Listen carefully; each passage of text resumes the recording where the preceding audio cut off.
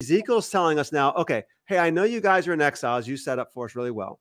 I, I, know you're in exile. I know it looks traumatic. I know it looks like it's total despair, but you deserved it, as you said, right? You, you know, you're worse than Sodom and all that good stuff there.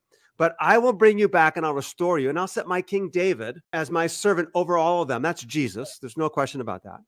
That's the Jesus part of the story. Jesus comes in and says, I'm going to be that prince forever. And then, and I'm going to give you a new heart and a new spirit, and I'm going to cause you to walk in my ordinances, right? That's this is obviously Jeremiah 31 uh, and Ezekiel as well.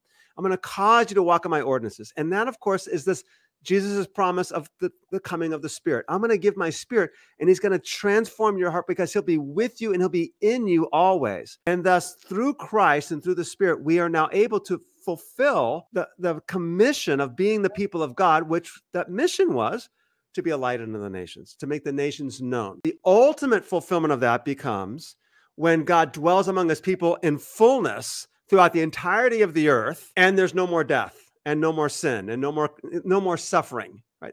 So that's what Revelation 21 and 22 are telling us about. This is the ultimate fulfillment of this. So we have this fulfillment coming in Christ through the Spirit of the promises to Ezekiel and the promises to the people of Israel, coming through Christ and then through the Spirit, ultimately making us temples and having circumcised hearts.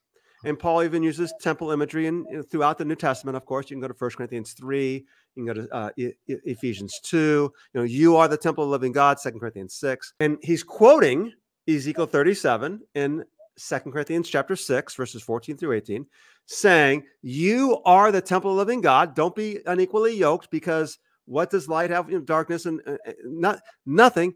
And I will dwell among you, and I'll be your God, and you'll be my people. So that's a present reality. I think that's something that we want to stress a little bit as we as we move on. Right, and then the ultimate fulfillment of that, meaning that the the ultimate goal, the the telos, the the end, is accomplished in the New Jerusalem.